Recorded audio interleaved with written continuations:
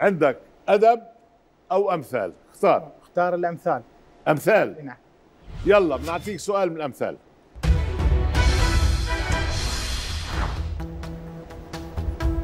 مثل يضرب لمن يحتال في البيع والاتفاقات.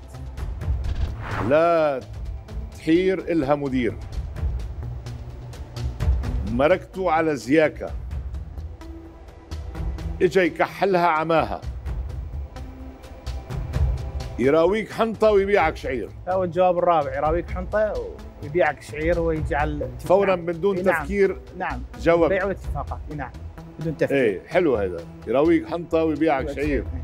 يعني بالغش والاحتيال هذا المحتال درجة أولى. إحنا. اختصاصي نعم. خلاص؟ خلاص. نهائي؟ جواب نهائي نعم. طيب. جواب صح. صاروا مليونين.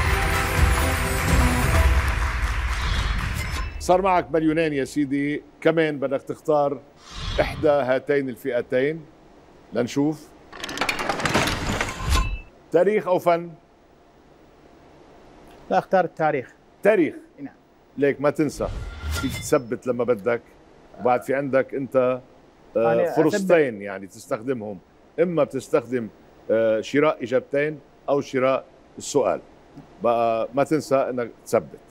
أنا أوكي أثبت على المليونين و... تثبت على المليونين؟ أثبت على اذا المليونين. بنثبت له للأستاذ سيف على المليونين. ما بقى تخسر يلا شوف السؤال.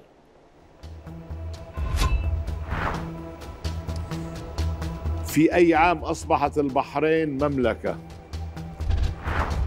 2008 2006 2004 2002 طبعا الاجابه الإجابات الأولى الثلاثه كلها مستبعدة فاختار الإجابة الرابعة. الرابعة. إي نعم إجا- 2002 بال لأن 2002 أنا معاصر هذا التاريخ يعني من أها. بعد 2003 اليوم ما سمعت في اليوم إن البحرين صارت مملكة. متابعها. فنعم في 2002 يعني بداية القرن أصلا إي نعم بداية القرن. نعم. جواب نهائي. إن شاء الله جواب نهائي.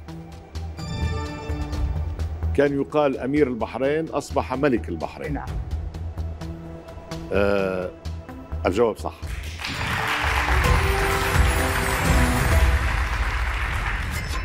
صاروا 3 ملايين كمان اختار لي فئة من الفئتين.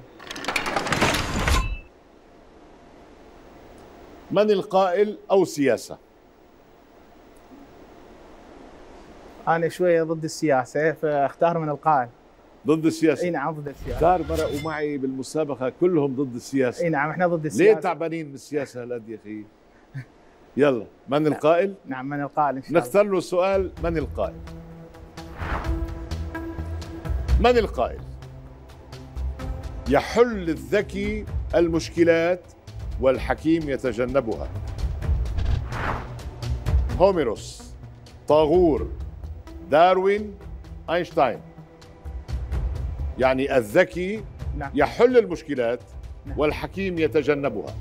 يعني أنا أشوف الإجابة الرابعة هي الإجابة الأقرب لأن إينشتاين معروف إنه أذكى شخص يعني بالتاريخ خلينا نقول آه. نعم إيه فهو إينشتاين أكيد أنت قال مش سمعها قبل بس أنت لا أنا ما سامع بس بأينشتاين. لأن إينشتاين هو الذكي فدائما نعم. كان يروح يحل المشاكل ما يتجنبها نهائيا فأختار. الإجابة الرابعة نعم. إينشتاين نعم.